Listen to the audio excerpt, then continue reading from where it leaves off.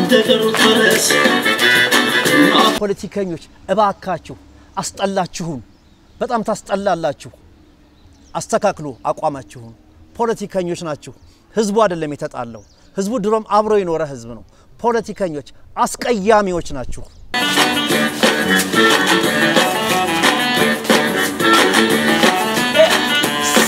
ሎሚ ይወረወራል። ደንብ ነው። ቆንጆ ካየሽ እዛ ላይ ነው እጮኛ የምትይዙ ምናምንም ይባል ያው አነጋገር ወይም አባባል አለ።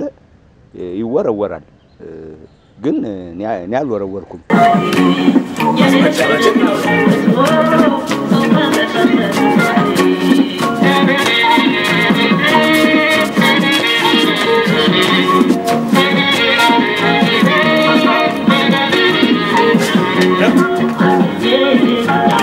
አሁን እንግዲህ ሀሳቡንም ጣል አድርጓል መሰለኝ። እንደዚህ አይነት ቦርጭ ከየት እንደመጣም አላውቅም። እንደውም ዘመነ ሻንቃጣ ነው።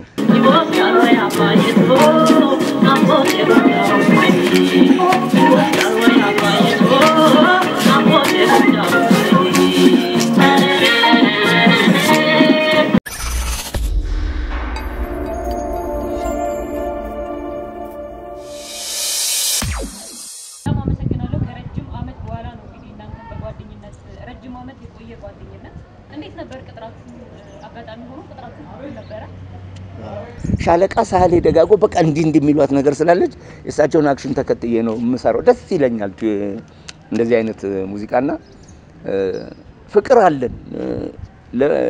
እንደውም በጣም አመሰግናችኋለሁ እንደዚህ አሰባስባችሁ በሱና በሱ ምክንያት ይህንን ቃለ መጠይቅ ስላደረጋችሁልን የሞቱትን ነፍስ ይማር እያልን ያለነውም ተሰባስበን ከኛ ትንሽ የማይሻሉትን ለመርዳት እኔ ዝግጁ ነኝ። ያው እያሰባሰቡ ያለን እየተሰባሰብን እያለን አሁንም ወደፊትም ዝግጁ ነን። ከኛ የባሱትን ሰዎች ትንሽ ለመደጎም ምንም ማለት የአንድ ወር ደመወዝ በሁለት ወር ክፍያ ቢለቀቅ ብናስታውሳቸው ተሰባስበን እንደዚህ ቁጭ ብለን እየተጫወትን እየተሳሳቅን ብንኖር ደስ ይለናል። ጊዜው እንደውም የሚያሰባስብ ስላልሆነብን ነው እንጂ በፊትም ዘመነ ተሰባሰቡና ከዚህ በፊት የመጣ ጊዜ ተሰባሰቡና ለእኔ የምትፈልጉትን ነገር ብቻ ደውላችሁ ንገሩ። በአንዱ ለብቻ ቢሆንም ከስራ በኋላ እኮ እንገናኛለን። ዘሜ ደግሞ ዘፋኝ ነው፣ እኔ ተወዛዋዥ። የምንለያይበት ነገር ክፍለ ሀገር እንጃ የኢትዮጵያን ካርታ በሙሉ ጨርሰናል። የቀረችን ምን መሰለች ዩጋዴ አካባቢ ለመሄድ አይ መንገድ ተበላሽቷል እያሉ እየመለሱን እንጂ የቀረን ሀገር ኢትዮጵያ ውስጥ አለ ቢባል ማንም እንትን የሚል የለም። በሙሉ ያልዞርበት የለም እና በየበራው አንዱ አበልት ከጨረሰ ወደ አንዱ ጠጋ ነው። ማን ነበር ግን አበልቶ ወደ የሚጨርሰው ዘሜ? እኛ ጋር አም- አብዱራዛቅና ነፍስን ይማር አብዱራዛቅና አክሊሉ አክሊሉ ቶሎ ነበር የሚጨርሰው። እነሱ ቶሎ ነው የሚጨርሱት። ገንዘብ ያጠፋሉ። ልክ እንትኑ አውቶቡሳችን ቆሞ አልጋ ሳኒዝ እነሱ ቡና ቤት ናቸው። ቆጣቢስ ማን ነው? ብር ቆጣቢ ሾፌራችን ጋሻ በራ ይባላል። እዚህ ጋር ዞር ብዬ በላው ይልና ምን በላ ስትይው ምን በቃ አንድ የታመመብንና ሐኪሙ ምን ሁሉ ጋር ሙዝ ሆነብኝ ሰውነቷ ለካ ሙዝ ነው የሚበላው። ቶስኪ ቶሮ ይቆጥባል። አዎ ቶስኪ ቶሮ ያ ባሌ ላይ ምን ሁሉ ጋር ሙዝ ሆነ ሰውነቷ ለካ አይበላም ሙዝ ብቻ ነው የሚበላው። ዕቃ ይዞ ለመምጣት ለቤተሰብ ጳዊ ዘናጭ ማን ነበር ከሱ- ከሁላችሁ? እ፣ እከሌ ከከሌ የሚባል በማዕከላዊ እዝ ሙዚቀኛ ውስጥ ብልጫ የምትሰጪው ሙዚቀኛ የለም። ሁሉም ፕሮቶኮሉን የሚጠብቅ ዘናጭ፣ ንጹህ የሆነ ነው። እንደውም በኦርኬስትራው በኩል ብትሄጂ፣ በባንዱም በኩል ብትሄጂ አሳ ማለት ነው። አሳ ውሃ ውስጥ አለን።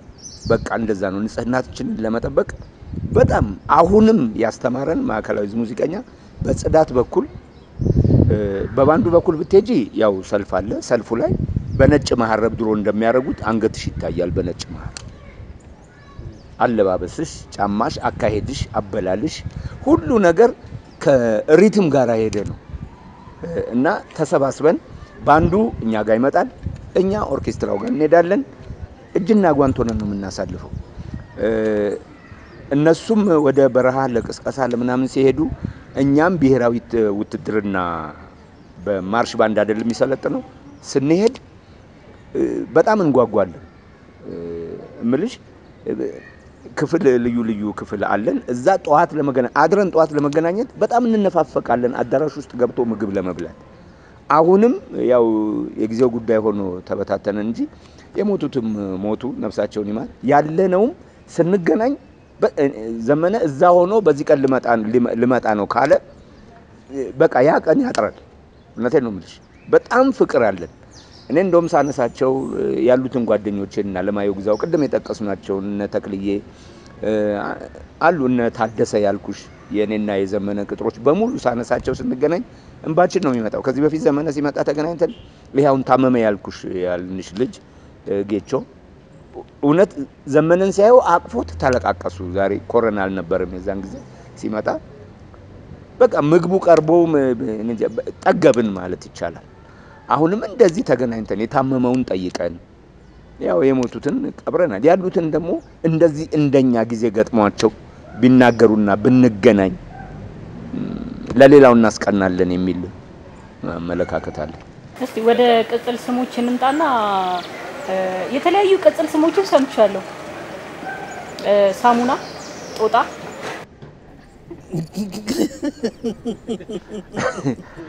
እኔ በእውነት እውነቱን ለመናገር ማሰልጠኛ ውስጥ በጣም የምያሰው አልነበርኩ እና ያው አንቺ ነበር የምባለው።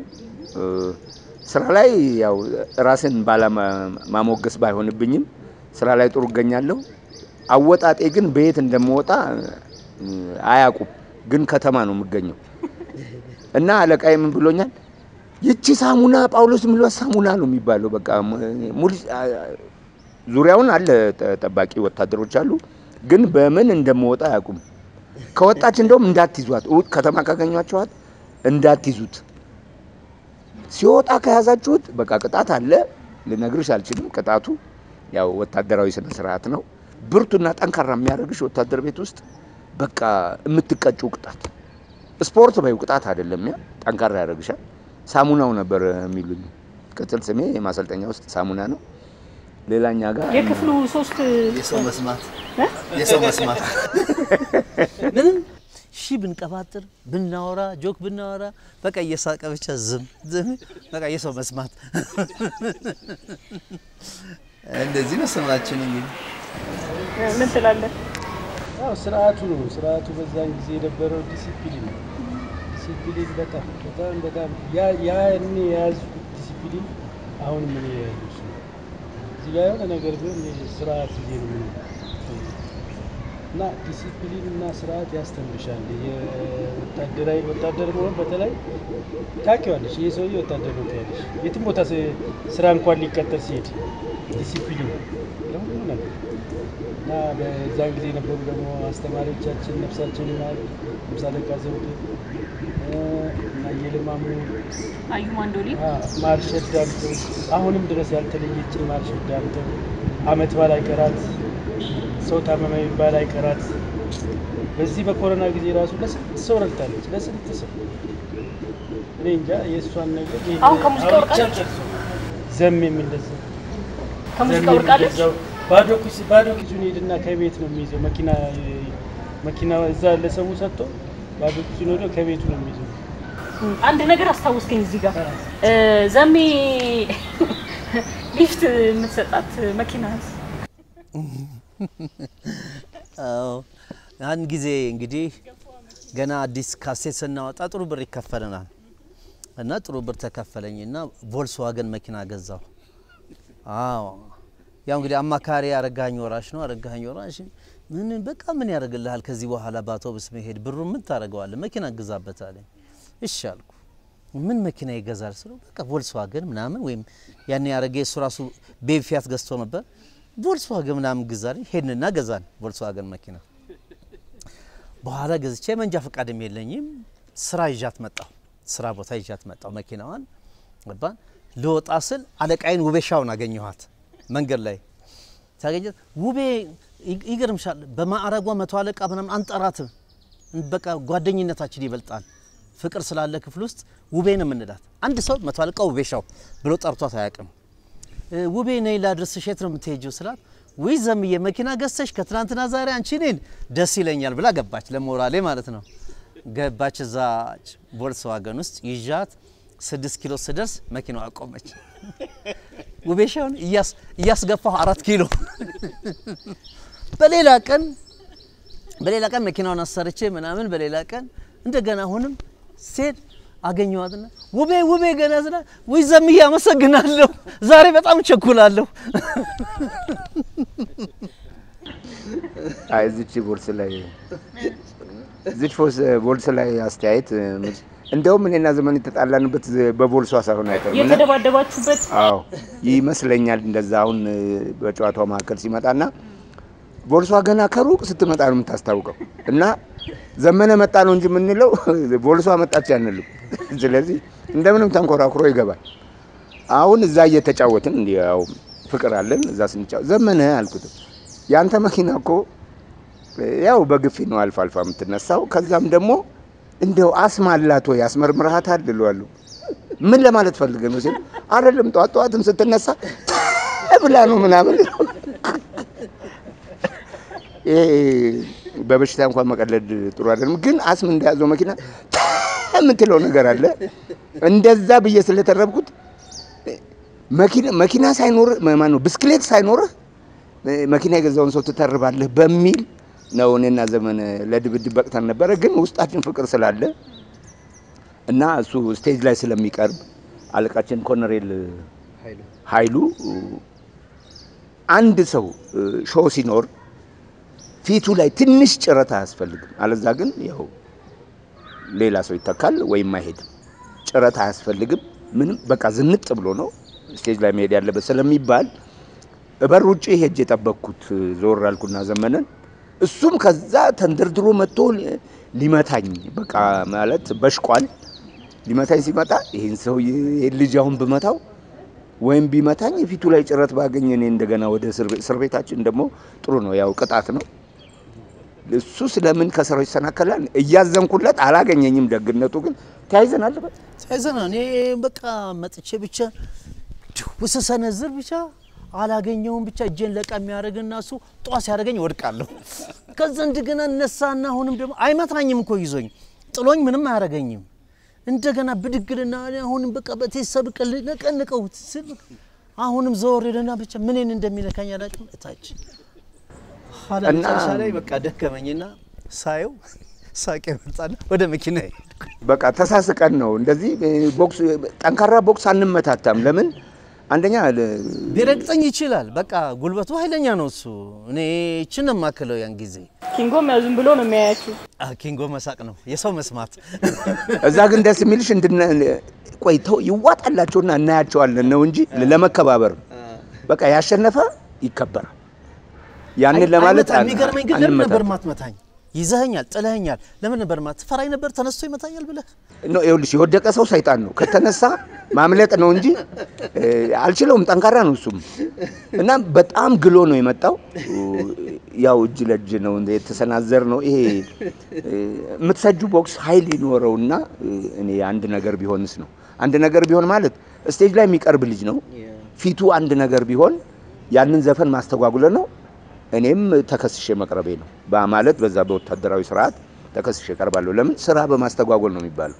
በዛ ይዘት እንመታታም፣ ተጨማሪም ፍቅር አለ። እሱ ነው ያልመታ እንጂ እኔማ ሞክሬያለሁ። እሱ ሞክሯል። እኔ የመጨረሻ በእውነት እኔ የራሴን እጅ ምን ላይ እንደሚያርፍ አታውቀውም። የመጨረሻ አፍንጫውን ምን ብቅ የመጨረሻውን ሞክሬያለሁ። just አልቻልኩትም። እሱ ግን ለምን እንደሚተወኝ አላውቅም። ከዛ ከጣለኝ በኋላ እንዲህ ብሎ በቃ ምንም ይዞኝ ምንም አያደርገኝም። ከዛም ይለቀኛል። ከዛ ብድግ ብዬ አሁንም ልመታው ነው የምነሳው። ፍቅር ነው ይሄ። በቃ ከፍቅር አኳያ ነው እንጂ ሌላ ጸብ የለንም። ስንበላም ስንራመድም ስንሄድም የማይገርምሽ የሚገርምሽ አንዳንድ ቦታ ስንሄድ በህብረት ነው የምንሄደው። ፈንጠር ፈንጠር ብለን ነው የምንቀመጠው። ምልሽ ያው ወታደራዊ ስርዓት ነው። ጠላት እንኳን ቢመጣ ወይም ለድብድብ የሚመጣ አንዳንድ የሚረብሽ ሰው ካጋጠመ ምናምን ሁሉም እንዳይመታ ተሰባስበው ቁጭ ብሎ ፈንጠር ፈንጠር ብለን ነው የምንቀመጠው። ከዛ አንዱ ቢመታ ወይም አንዱ አንድ አደጋ ቢደርስበት ሌላው ያው በርቀት ነው የምናወራው። እኛ ርቀትን ከያዝን ቆይተናል፣ ዛሬ አይደለም። አሁን ደግሞ ወደ አሁን ስንመጣ በቅርቡ እንግዲህ አሁን ያለነው ወቅታዊ የሆነው የሀገራችን የዓለም ትልቁ ችግር ኮሮና ነው እና ኮሮና ላይ እንግዲህ አዲስ የተሰራ ስራ አለ። በእርግጥ እንደ ትንቢያም ዘመነ ከዚህ በፊት ከቅድምም መግቢያችን ላይ ኪንጎ እንደተናገረው ስለ አባይ መገደብ ቀድመህ አውርተሃል፣ ተንብያሃል ተጫውተሃል። ሌላው ደግሞ አሁን ኮሮና ላይ ሆነንም ስለ ኮሮና አዲስ የሰራው ስራ አለ። እንደውም እዛ ክሊፕ ላይ ምን ነው ጳውሎስ በነበረ ሁላ ያልከው አጋጣሚ ነበረ። እንዴት ነበር? እስኪ ስለሱ ክሊፕ ደግሞ እናውራ። ዜማው ቀበጥባጣ ወጣት ነው እና ቀበጥባጣ ወጣትን እንግዲህ ጳውሎስ በጣም ይጫወትበታል። የሻለቃ መላኩ ኦርጋን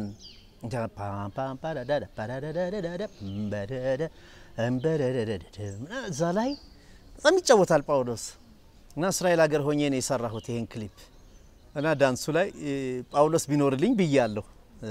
ዜማው ያው ኮረና ነው። ረጋ በይ ኮረና፣ ቀስ በይ ተረጋጊ፣ አልወጣም ከተማ ሞኝሽን ፈልጊ እኔ እንደዚህ ነገር የሚል ነው ዜፋ። ያው ቀበጥባጣ ነው ዜማው። ጳውሎስ ቢኖርልኝ ብያለሁ። ያው እንግዲህ ጳውሎስ አሁንም ያ ዳንስ አለ አይደል?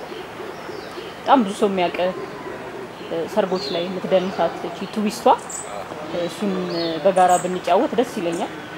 እስቲ ስለ ኮሮና እንዴት ነው ራሳችሁን እየጠበቃችሁ ያላችሁት? ያው ለኪነ ጥበብ ባለሙያ በተለይ ከባድ ነው፣ ፈታኝ ነው።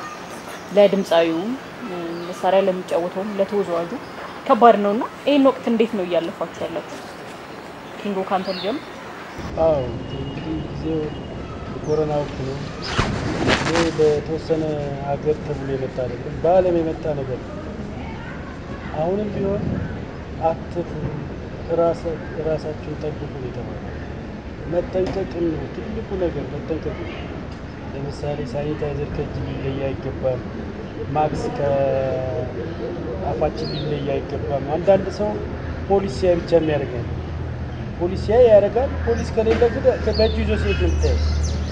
አርግ ስትል ጠልቻለሁ። መጨረሻ ሲሰለቸኝ አንዱ ምን አለኝ፣ ግዛልኝ እናስተኛ ሁሉ ስለዚህ ለራስህ ነው ለእኔ እኮ አይደለም። አንዳንዱ ሰው ምንም የተረዳው ነገር የመጀመሪያ ሲጀመር ቆንጆ ነበር። ማታጠቢያ ቦታ ሁሉ በየቦታው ምንም ሳይቀላቀል እንደተ- እንደተገዛ ቁጭ ይል ነበር።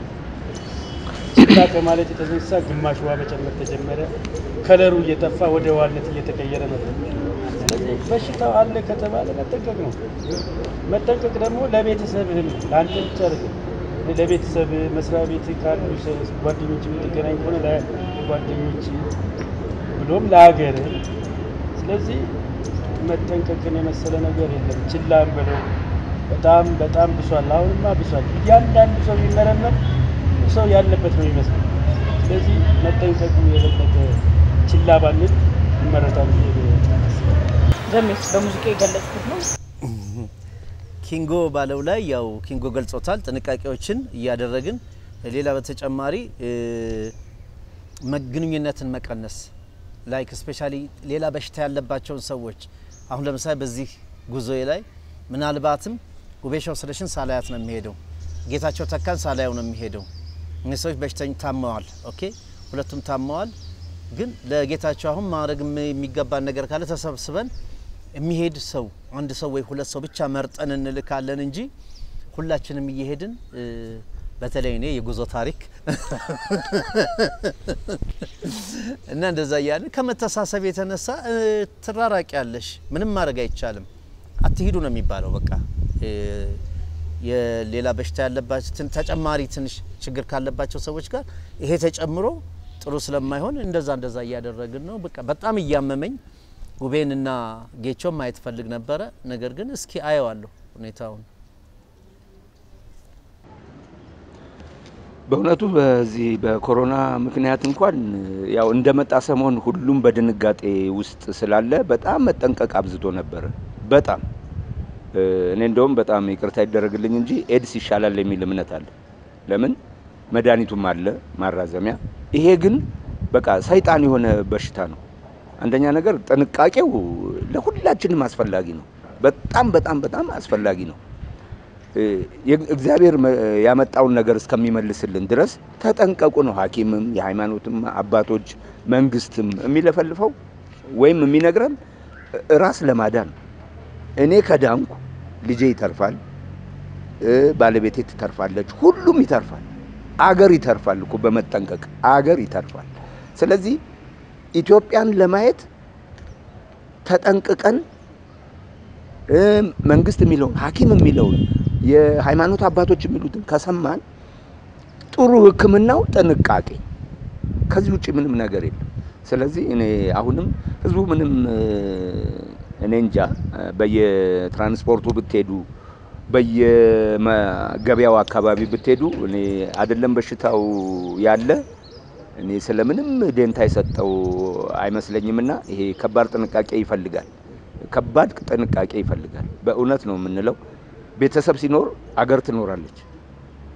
ቤተሰብ ከሌለ አገርም አትኖርም። አገራችንን እኮ ልንገንባት የምንችለው ከዚህ በሽታ ተጠንቅቀን ስንኖር ነው። ከሌለን አገር አትኖርም።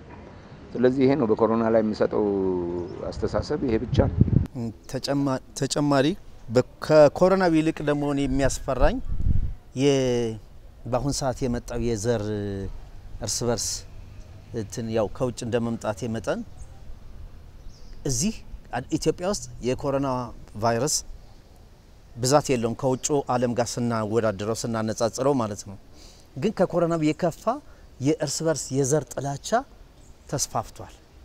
እኛ እኮ ስናድግ ያሳደጉን እኮ የኦሮሞ ልጆች ናቸው። የእኔ አለቃዬ ጥላሁን ገሰሰ ነው። ጥላሁን ገሰሰ የኦሮሞ ልጅ ነው። ብዙነሽ በቀለ ናት የእኛ ስታር ድምፃዊ ተጫዋቻችን የኦሮሞ ልጅ ናት። አለቃችን አየለ ማሞ ነው የኦሮሞ ልጅ ነው። ዋናው አለቃችን ኮሎኔል ሳህሌ ደጋጎ ናቸው። በስፖርት ብትሄጂ እነ አበበ ቢቂላ፣ እነ ማሞ ወልዴ፣ እነ በላይነህ ዲንሰሞ፣ እነ ዋሚ ቢራቱ እነዚህ ናቸው። መቼ ነው እኛና ኦሮሞ ተለያይተን የምናውቀው? እና በጣም የሚያሳዝነው እንግዲህ አዲስ ሆኜ በአዲስ እንደ አዲስ መጥቼ ሳየው አማራ፣ ኦሮሞ፣ ትግሬ፣ ደቡብና ሶማሌ እየተባባልን እርስ በርስ መጠፋፋት ደረጃ ላይ መድረሳችን በጣም አሳዝኖኛል። አሳፋሪዎች ነን፣ በእውነት አሳፋሪዎች ነን። እንዲህ ነን እንደ እኛ ኢትዮጵያውያን። እኛ ኢትዮጵያውያን እኮ ታሪካችን ለውጭ ሀገር ሕዝብ ስናስረዳ እኮ እኛ ኢትዮጵያውያን እንዲህ ነን እያልን እኮ እየፎከርን የምና- የምናወራው ታሪካችን ነው።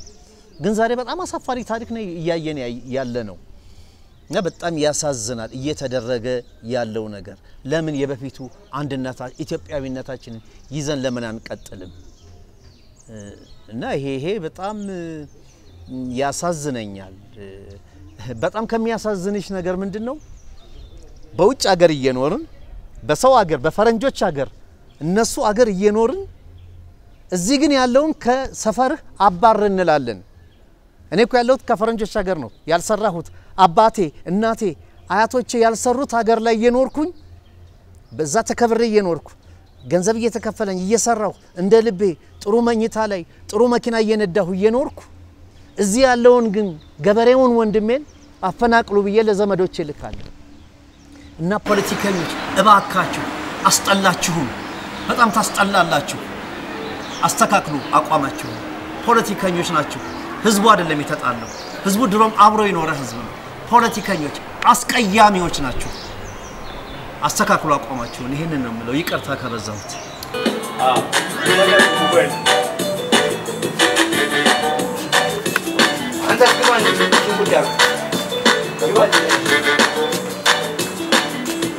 ከካቤ ኮረና ከስሜት ተረጋጊ አልወጣም ከተማ ሆንሽን ፈልጊ ውሃም ባይመች ማትወጪም ሳሙና አልኮል ጥርግ ያርግሽ ረጭልኝ ኮሮና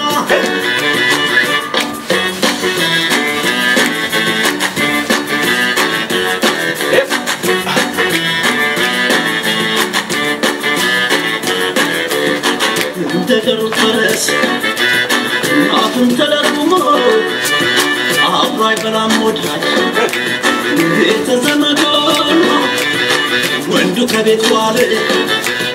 ሴት ሁሉ ጸነሰ ጭንብል ተወደደ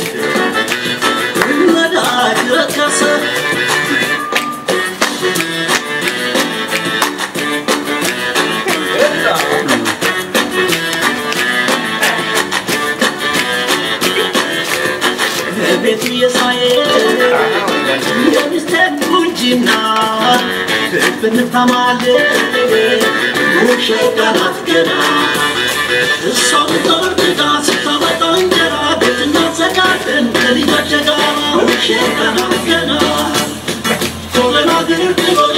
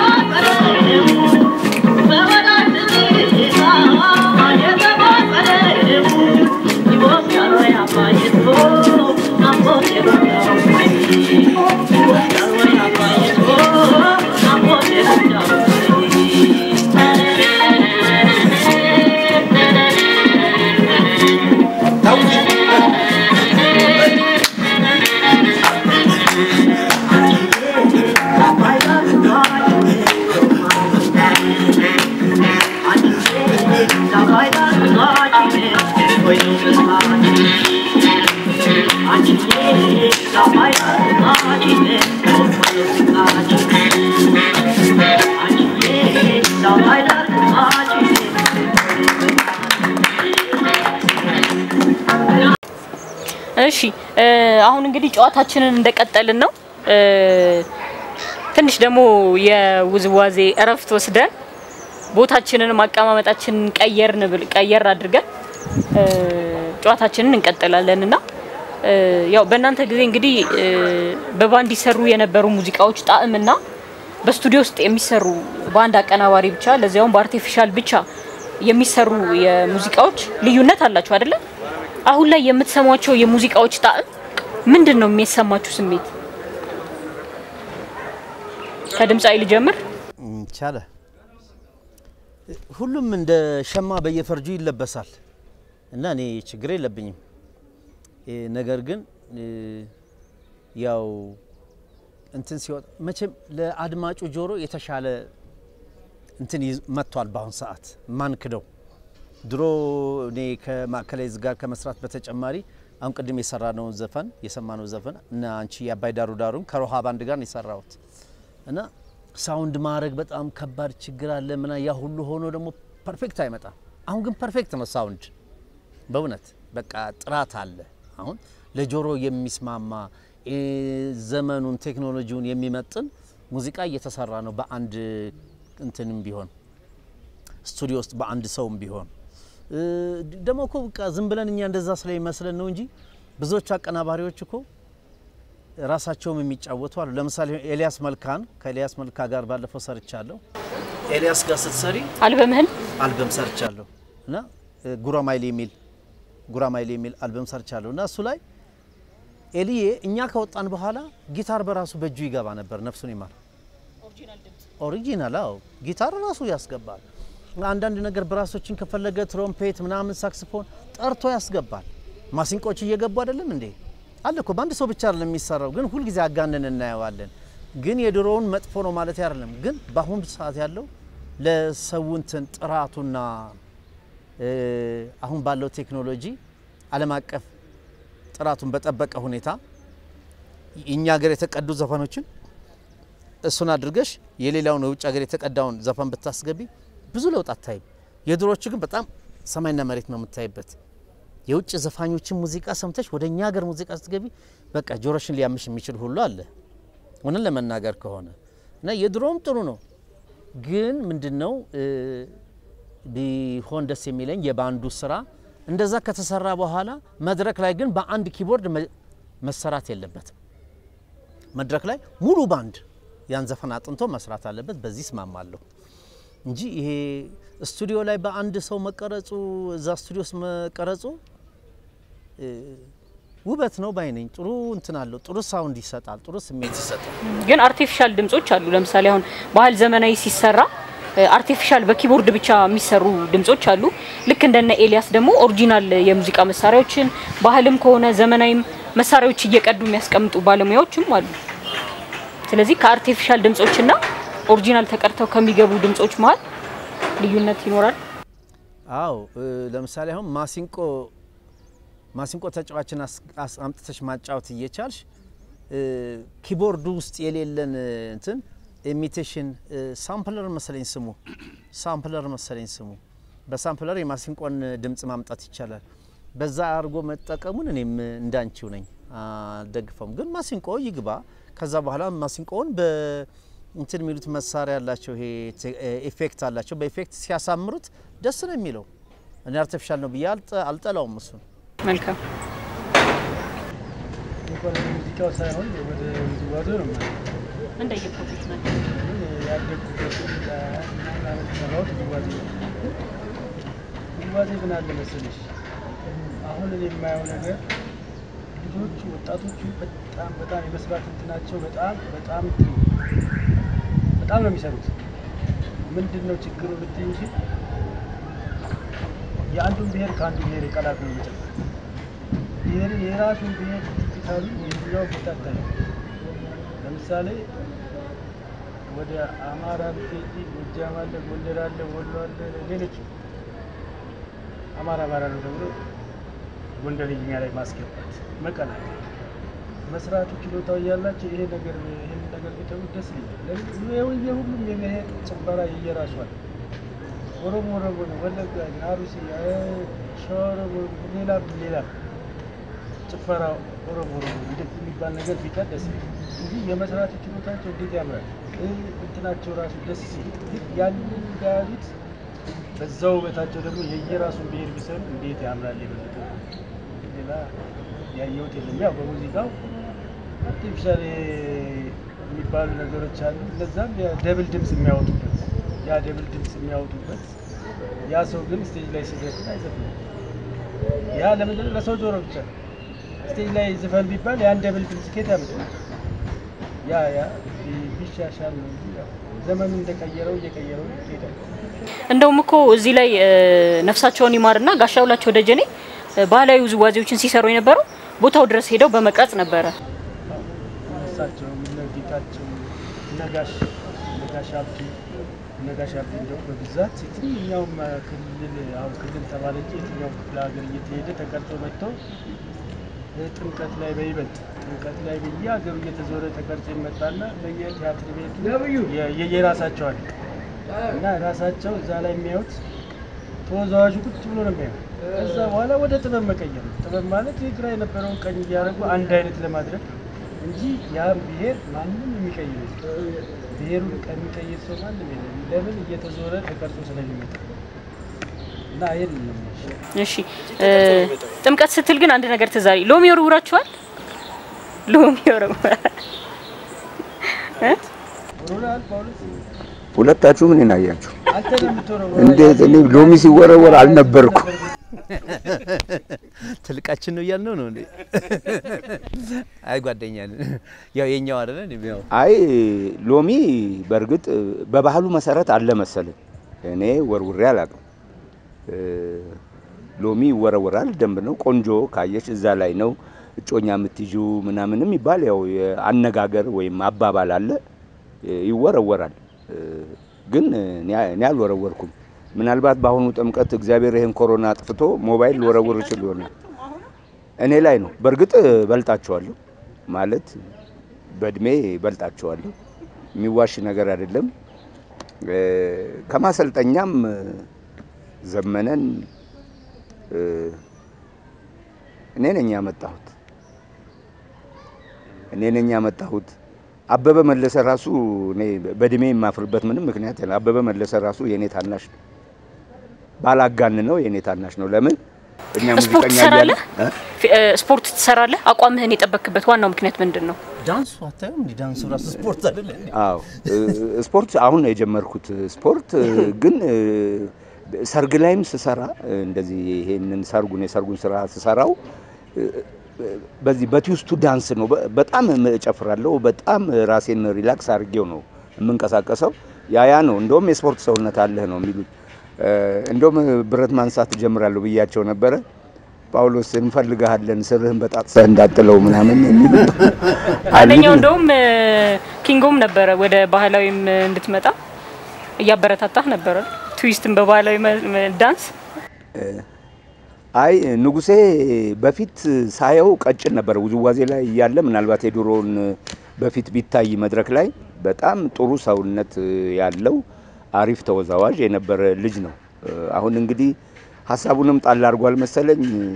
እንደዚህ አይነት ቦርጭ ከየት እንደመጣም አላውቅም። እንደውም ዘመነ ሻንቃጣ ነው መወዛወዝ አቅቶታል። በፊት አሰልጣኝም ነበር እንግዲህ ምድር ጦርም ሄዶ አሰልጣኝ ነበረ። እንዴት እንደሆነ አላውቅም። እሺ ስለ ታላቁ የዜማና ግጥም ደራሲ የክብር ዶክተር አበበ መለሰ ካነሳን አይቀር የዘመነ መለሰ ታላቅ ወንድም ወደ ሙዚቃው ያስገባኸው አንተ ነህ አይደል? ከነ ኤፍሬም ጋር ያስተዋወቅከው አዎ ብዙ ሰው እንደዛ ይላል። ግን ምን መሰለሽ እኔ በ professional ደረጃ ቀድሜው ወደ ሙዚቃ ስለገባሁና ሌሎችን ያው ሙዚቀኞችን የማወቅ እድል ስለገጠመኝ ያው እኔ ብዙ ነገር አመቻችቼለታለሁ በድርሰቱ እንዲታወቅ ረድቸዋለሁ። ነገር ግን እኔ ራሴ ወደ ሙዚቃው እንድገባ የእሱን እግርና የእሱን ኮቴ እየተከተልኩ ይመስለኛል እዛ ደረጃ የደረስ ነው። እንደዛ ብዬ ነው የማምነው። ምክንያቱም እሱ ነው ከበልጅነታችን ከበሮ ይሰራል፣ ይቀጠቅጣል፣ እንጫወታለን፣ እሱ ይዘፍናል፣ ይዘፍናለሁ። ጊታር በራሱ በእጁ ይሰራል፣ አብረን እንዘፍናለን፣ ቤት ውስጥ ሰፈሩን እናደነቁረዋለን ምናምን እና አቤን እየተከተልኩ ነው ያደግኩት ወደ ሙዚቃው የገባሁት። በኋላ ግን እንግዲህ የእንትን ጉዳይ ነው የእድል ጉዳይ ነው። እኔ ቀድሜው ወደ ማዕከላዊ እዝ በልጅነት የተቀጠርኩ 19 ዓመት ነበር። ስቀጠር 14 14 19 ጳውሎስም አይሆነውም 19 17ም ይሆናል። ምልሽ የጊዜው ጉዳይ ናቸው ነው እንጂ ትልልቅ የምንለ 18 ዓመት የሞላቸው በጣም የምንፈራቸው በቃ እንደ ሽማግሌ ነው የምናያቸው። እነ እንትና ናቸው እነ መልካሙ ጫኔ ምናምን እነሱ እነሱ ናቸው ትልልቆች 18 ሞልቷቸው የተቀጠሩት። እኛን ዝም ብለው የ14 ዓመት የ13 ዓመት ልጆችን 18 እያሉ እየሞሉ ነው የቀጠሩን። የሚዋች ነገር የለውም ሰው እና አቤን ቀድሜው በመቀጠሬ ከነ ጋሽ ጥላሁን ጋር ከነ ኤፍሬም ታምሩ ጋር ከነ አረጋኝ ወራሽ ጋር እንዲገናኝ አመቻችቼለታለሁ። አብራችሁ ሰርታችኋል ከጋሽ ጥሌ ጋር? ኦ በጣም ጋሽ ጥላሁን ያሳደገኝ ነው። ጋሽ ሳህሌ ቅድም እንዳልነው አለቃችን ልክ ከደብረ ብርሃን እንደመጣን እኔን ወስደው እነ ጳውሎስን ምናምን የሙዚቃ መሳሪያ እንዲጫወቱ አድርጓቸው። እ፣ የሆነ የትንፋሽ መሳሪያ ይጫወት ነበረ ጳውሎስ። እኔን ወስደው ጋሽ ሳህሌ ለጥላሁን ገሰሰን የሰጡኝ ባደራ በአደራ መልክ በቃ ጠዋት ጠዋት አንድ ላይ እንተሰብስበን የምንቆጠርበት አይደለም። እዛ ላይ እኔ ጠዋት የሚሄደው ጋሽ ጥላሁን ጋር ነው። እኔ የምፈርመው ጋሽ ጥላሁን ጋር ነው። ሄዳለሁ፣ መጥቻለሁ እለዋለሁ። ጋሼ ነው የምንለው። ጋሼ መጥቻለሁ እለዋለሁ። የትንፋሽ አያያዝ ያስተምረኛል። እስከ ቀኑ አራት ሰዓት ድረስ ከጋሼ ጋር ነኝ።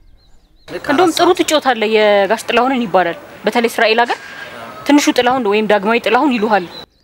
ዝም ብለው ነው ምን- ምንም እስቲ ትንሽ ሞክርልን። ዳግማዊ ጥላሁን የለም ምን ጥላሁን ገሰሰ ጥላሁን ገሰሰ ነው ምንም I don't think so ግን ያው ጫወታለሁ የጥላሁን እስቲ ትንሽ ሞክርልን። ምን ልጫወትልሽ ደስ ያለህን አንተ በብዛት የምትጫወተው ነው የጋሽ ጥሌ። በዚህ ላይ ባግዘው ዘመነ መለሰ ከኛ ጋር እያለ በረንዳ ላይ ሆኖ እዋት ስትናፍቀኝ ድምፁን የጥላሁንን በጣም ስለሚፈልገው ጓሮ ለጓሮ እየዞረ እዋት ስትናፍቀኝ ሲጫወት አውቃለሁ። ስለዚህ እሷን ቢሞክር ወይ ከብ- ይከብደኛል ወይም ደስ ያለህን የጋሽ ጥላሁን መጫወት ይከብዳል አትሞክርም? ይከብዳል ግን ለጋሽ ጥላሁን የሰጠሁት ሙዚቃ አለ ለኤፍሬም እንትንን ያው ባቤ ስም ይግባ እንጂ የእንትን ማን ነው አካሌ ሸግዬ ነይ እ፣ እኔ ነኝ የሰራሁት ከ- እስቲ ትንሽ በለው። ከእናቴ ወስጄ አካሌ ሸግዬ ነይ ሰው ጠራኝ ሳቲ እንደዚህ ነው ከመጀመሪያ ሲሰራ ማለት ነው። ከዛ ደግሞ ለጋሼ ደግሞ እንትንን ትጸዳለ ሰማይ ደመናማ ላይ ጸዳለ ሰማይ ደመናማ ላይ ትዝታዬም ደራ በአበቦቹ ላይ። እቴ በመስከረም መቅረትሽ ነው ወይ? አይንሽ ተንከራታች አካል ዘንካታ እና አካል ዘንካታ አደረገው ልቤን ደብር ለትዝታ ደብር ለትዝታ ካላስቀረሽ ጭንቄ መተከዝ ማሰቤ መተከዝ ማሰቤ ውሃ በቅል ይዞ ይከተልሽ ልቤ ይከተልሽ ልቤ ጸዳለ ሰማይ ደመናማ ላይ ናት። አመሰግናለሁ። እንግዲህ ጨዋታችንን ወደ ማጠናቀቁ ላይ ነው ያለነውና ለእኛም እ፣ ጊዜ ሰጥታችሁ ከኛ ጋር ቆይታ ስላደረጋችሁ በየኛ ቲዩብ ቤተሰቦች ስም ከልብ አመሰግናለሁ። እስቲ ወደፊት በህብረት ምን ያሰባችሁት ነገር አለ? ምን አዳዲስ ነገሮች እንጠብቅ? እንደ ተወዛዋዥም እንደ ሙዚቀኛም በጋራም በግልም ለመስራት ያሰባችሁት ምኖች ምን አለ? አሁን ያለን ምንድን መሰለሽ የተጎዱ ሰዎችን ማለት ቢያንስ ሁሉ ሰው እኩል አይሆንም። የተጎዱ ሰዎችን እንዴት ነው መርዳት የሚቻለው? እንደገና ማህበርም አላቸው ባይዘዌ ብዙዎቹ የሚሰባሰቡበት አለ። እዛ ላይ የተጎዳን ሰው ለመርዳት እና ይሄ መለያየቱ እንዳይኖር ማለት ነው። መለያየቱ ለምን ይኖራል? ባለንበት እንጠያየቅ። በህይወት ሲኖር ሰው ስንረዳው ደስ ይላል። ይቅርታ አድርጊልኝና ሻለቃ መላኩ አቀባበር ብታዩ ይህን ያህል ለሀገር የሰራ ሰው ሰው አይሞላም። ሲቀበርን ይዛ ነበር። ነፍሱን ይማርና ለሀገር እንዳልሰራ ገብርኤል ተይዞ ነው የተቀበልኩት ጎፋ ምናምን እና ያሳዝንሻል። ያ ምንድን ነው ያለ መቀራረብ እና እንደዚህ ቢኖር አምሮለት ስላሴም ሊቀበል የሚችልበት ደረጃ አይደርስም። ይሄ ነው የእኛ መበታተን። መንግስትም የዛን ክፍል እንትን ያየው ነገር የለም። የነ- የነበረውን መንግስት ከዛ በኋላ የመጣውን መንግስት ይሁን ሌሎችም ባሉበት ማንም ያዩ የለም። ያን ያሳዝንሻል። አሁን ለምሳሌ 2009 ላይ ከየት ተጠቁሞ እንደሆነ አላውቅም፣ አንጋፋ ተወዛዋዥ ተብዬ award ተሸላሚ ነው። award ሲሸለም እና አቤ ያን ጊዜ ሎሬት ተሸላሚ ነበሩ በአቢሲኒያ በአቢሲኒያ እዚህ ላይ ግን ይቅርታና አቢሲኒያ የሽልማት ድርጅት በዚህ አጋጣሚ ልናመሰግነው እንፈልጋለን። ምክንያቱም ብዙ የተረሱ ባለሙያዎችን ወደፊት ያመጣ ነው። ሌሎች ጥያቄዎች ሊኖሩ ይችላሉ። በተለይ የሎሬት ሽልማቶች ላይ ከድርጅቱ ጋር በተያያዘ ሌሎች ባለሙያዎች ጥያቄ ሊኖራቸው ይችላል። ግን እንደ ድርጅት ማስታወስ መቻል ትልቅ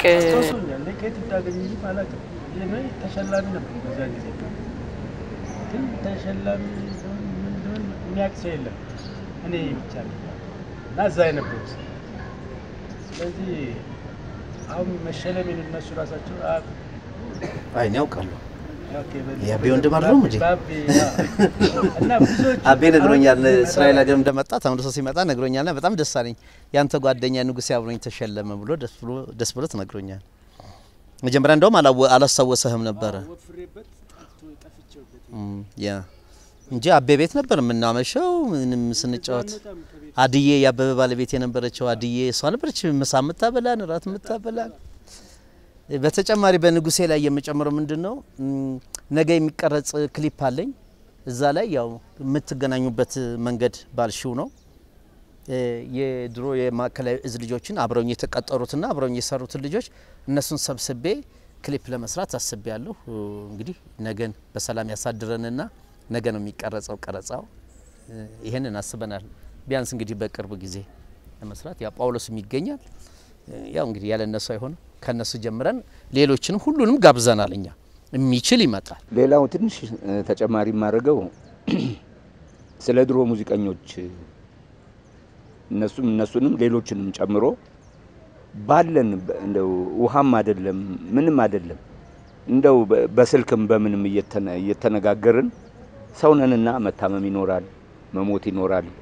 እስቲ ነከሌን ነከሌን እንጠይቅ ተባብለን እየተጠያየቅን በስልክ በሚቻለው አቅም እየተገናኘን የቻልነውን ካለን የቻልነውን ብናደርግ የቻልነውን አሁንም ጅምራቸው ጥሩ ነው። እነ ማርሸት ዳምጠው እነ መንበረ በየነ ተብለዋል። ከሰሙ ከስር ያሉትን ያውቃሉ። እነ መንበረ በየነ ጥሩዎች ናቸው።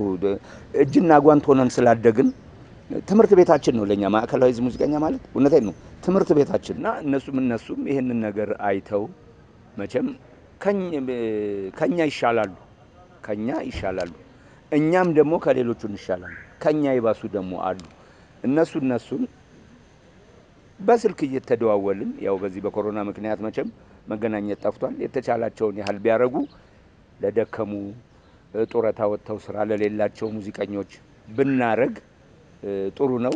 በዚህ አጋጣሚ ግን ከውጭ ድጋፋቸውን የላኩት በተለይ ለጌቾ የላኩት በጣም አመሰግናቸዋለሁ። የላኩትን እነ መንበረ በየነን ታዋቂው ታማኝ በዚህ የማይታማ ነው። በጣም በጣም በጣም ለማዕከላዊ ዕዝ ያለው ፍቅር ከእግር ጥፍሩ እስከ ራስ ጸጉር ነው። አመሰግናለሁ ሁሉንም። አበበ መለሰ ከኛ ጋራ ብዙ ህይወት አሳልፏል። በሙዚቃ እንትኑ እሱ ቢቀድመውም ላበበ እዚህ መድረስ ወንድሙም አስተዋጽኦ አድርጎለታል። አንድ ሰው ትንሽ ነገር ይዞ ይሄ አላማዬ ነው ብሎ ይዞ ከሄደ የትም የማይደርስበት ጉዳይ የለም። አበበም በጣም ታታሪና በጣም በጣም የግጥሙና የዜማው ሁኔታ ከጥንት ጀምሮ እኛ ጋር box guitar እየያዘ ይመጣ ነበር። box guitar በጣም ታታሪ ነበር። box guitar ይዞ ይመጣል። imagine አሁን እንግዲህ የደረሰበትን ደረጃ እና አቤን ሳላመሰግነው አላልፍም። ታሞም ሰምቻለሁ። የውስጥ ጸሎት አድርጌያለሁ። አሁንም ጨርሶ ይማርልን። በጣም እወደዋለሁ። ይሄን ለማለት ነው። ዘመን በጣም አመሰግንሃለሁ። ወንድሜም ንጉሴ አሰባስበህ አፈላልገህ ከዘሜ ጋራ ከአንድም ሁለት ጊዜ ስላገናኘህን ወደፊትም ያሉትን ልጆች እያገናኘህ ጥሩ ስራ እንድንሰራ ብርታቱን ይስጥህ እልሃለሁ። ዘሜም እድሜ ይስጥልኝ፣ የብረታ ጥሪ ያድርግልኝ። እናመሰግናለን። በዚህ አጋጣሚ ያው አዲስ ዓመትም እየመጣ ነው። እ፣ መልዕክት ማስተላለፍ የምትፈልጉት ካለ እድሉን ሰጥተናችኋል። በእኔ በኩል ግን እስካሁን አብራችሁን ስለቆያችሁ ለዚያውም በዚህ አስቸጋሪ ወቅት ጥሪያችንን አክብራችሁ እዚህ ትልቅ ቤት ስለተገናኘን ደስ ብሎኛል።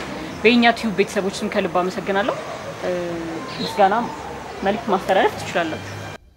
እኔ ማመስገን የምፈልገው ሁለት ልጆች አሉ። በአሁን ሰዓት እ፣ የ record የሚያደርጉ ሙዚቃ record የሚያደርጉ ልጆች ናቸው።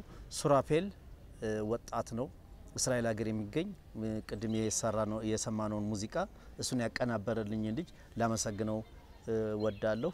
ኤርሚያስን ደግሞ እዚህ አዲስ አበባ ከመጣሁ በኋላ ደግሞ እንደዚሁ እንትን እያደረገልኝ ያለ ልጅ ነው። እነዚህን ሁለቱን ማመስገን እፈልጋለሁ። በጥሩ ሁኔታ ሙዚቃዎችን ሰርተው ከህዝብ ርቀሃል እባክህና ወደፊት ብለው እያገናኙኝ ነው ያሉት እና እነዚህ እነዚህ ሁሉ አመሰግናለሁ። ሌላው ጓደኞችን፣ ወንድሞችን እነ አረጋኝ እነ ሀይልዬ እነ ኤፍሬም ታምር ሁሉንም ወንድሜን አበበ መለሰን ሁሉንም አመሰግናለሁ። ኪንጎ ጳውሎስ እኔ ሁሉንም አመሰግናለሁ። እንግዲህ አዲስ ዓመት እየመጣ? በሰላም ያድርሰን እላለሁ። አንቺንም አንተንም በቅድሚያ ለዚህ interview ላደረጋችሁ ለእናንተ በጣም እናመሰግናለን። ከዛ በተረፈ በሀገር ውስጥም ላለ ውጭ ሀገርም ላለ ለኛ ያላቸውን ሀሳብ የሚገልጹልን በሙሉ አዲስ ዓመት እንኳን አደረሳችሁ እፈልጋለሁ። ከዛ በተረፈ ቤተሰቦቼ በጣም የማመሰግነው ለቤተሰቦቼ ኃይል እስካሁንም እንደዚህ ያለ እንጂ ለእኔ ከባለቤቴ ታንኪ ሀሳብህን ጥለህ ጳውሎስ እንዳለው እናመሰግናለን። እኔ እንግዲህ ያው ከነሱ ትንሽ እሱ እንኳን ዝም ብሎ በጸጉር ደረሰብኝ እንጂ ገና ነው፣ እሱም ገና ነው። እኔ ደግሞ ደስ የሚለኝና ልሰጥ የምፈልገው ሀሳብ የሚቀጥለው በዓላችን አዲስ ዓመት ነው። ይሄንን አስቀያሚ በሽታ ከአገር ላይ ከዓለም ላይ አጥፍቶልን ሙዚቀኛውም ወደ ድሮ ስራው ሌላውም ሌላውም ወደ ድሮ ስራው እንዲመለስ ቸሩ ፈጣሪ እንለምናለን እና እናንተንም አመሰግናለሁ። አዲሱ ዓመት ይሄ በሽታ የመጥፊያ በክረምቱ ተጠራርጎ የመጥፊያ የመሳሳሚያ የመተቃቀፊያ ያድርግልን። አመሰግናለሁ።